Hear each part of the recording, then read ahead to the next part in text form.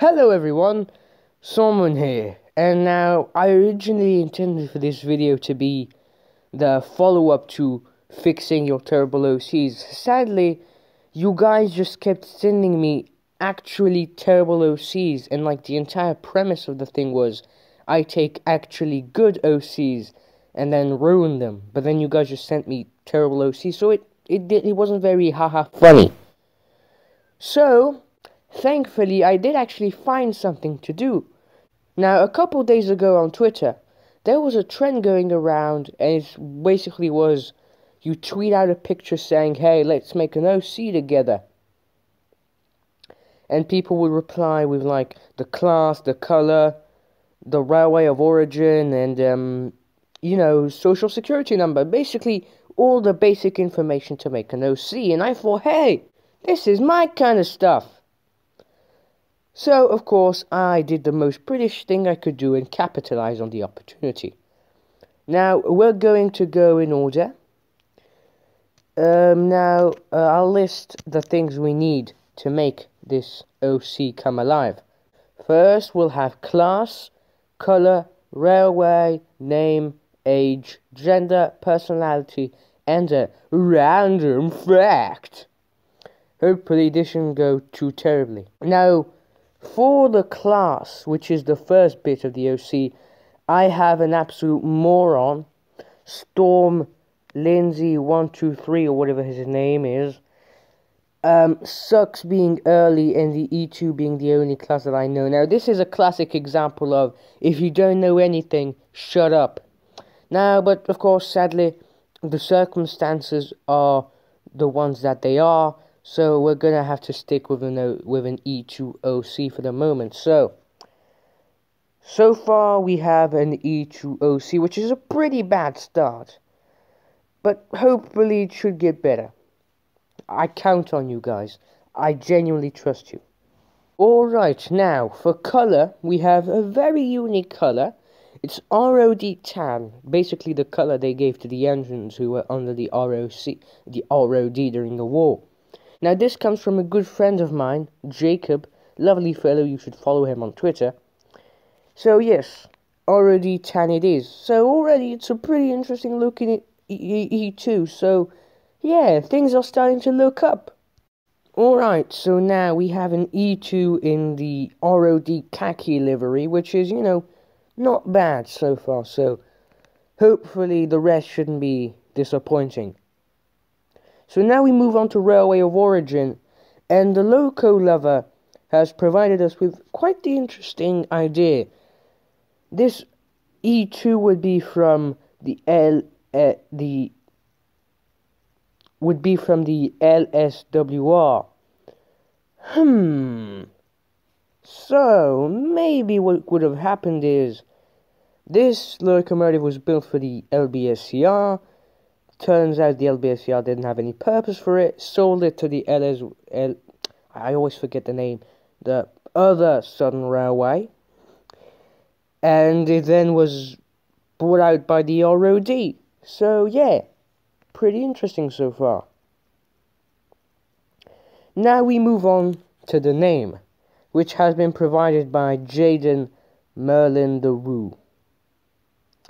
And he has provided the name Obama Walter Dodge II, and he specifies that it all should be on a nameplate.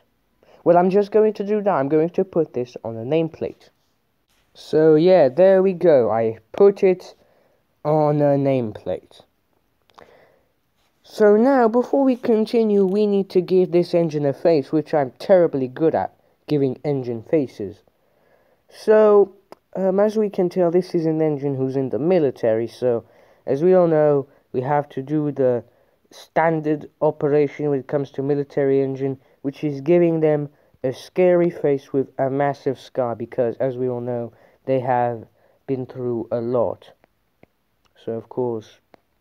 Now, of course, I've given this engine a scar, as we all know, it's standard procedure for military engines, but, uh, what if I took it a step further? What if I gave it two scars are alright now? This, this is an engine who has seized the horrors of war.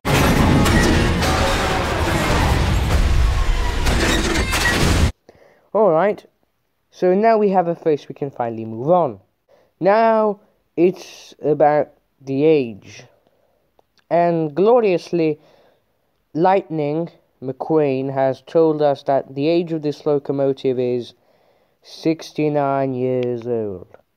Alright, so we have a 16, 69 year old LBSCR E2 from the LSWR who's a veteran and who's 69 years old. Alright, great. And now we move on to gender, which comes from our good friend T Stonks, who I've killed, but he just says he's on hiatus. He's actually dead. I've killed him with epic facts and logic after roasting his terrible OC. So now we move on to personality, and this is the part that I'm dreading the most. Alright, so you know the personality is gonna suck when the guy who's providing it is called Train Boy number 6 billion. So, personality. He's tough and gruff, takes pride in his work, but he can be shown to have a soft side, especially towards squirrels. Yeah. So we're just gonna take the tough and gruff part. Alright, so now we have what seems to be a genuinely neat OC.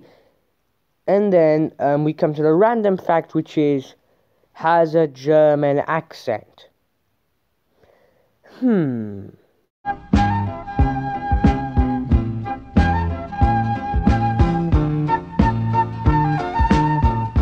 Alright, ladies and gentlemen, after multiple minutes of thinking, I have devised the backstory for this engine. So, as we all know, um, let's just call him Obama. Obama was built for the LBSCR. Sadly, they didn't have any use for him, so they booted him out and sold him to the LSWR. Now, the war came and he was drafted, and he was actually used as a spy against the Germans. Yes, th- the British won the war because of him. He, he, he won the war, lads. So, after becoming a famous war, uh, famous war hero, he, he wrote a biography detailing his life and then was and then lived the rest of his life in a cottage in East Anglia. So of course this is an this is a, an engine who has had a well-rounded life. So yeah, guys, we made it. We we made an OC that wasn't all that terrible. Kinda, but still, it's a lot better than Ligma. So thank you guys for watching, and remember, the most important thing is trying to keep your sanity.